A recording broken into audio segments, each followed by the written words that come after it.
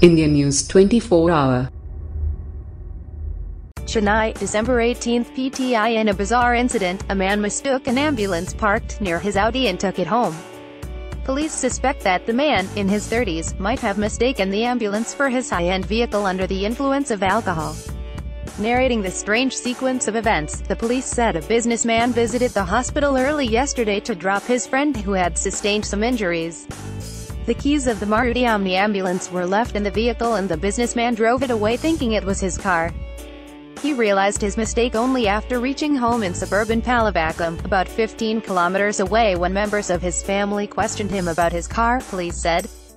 The man immediately asked his driver to take the ambulance back to the hospital.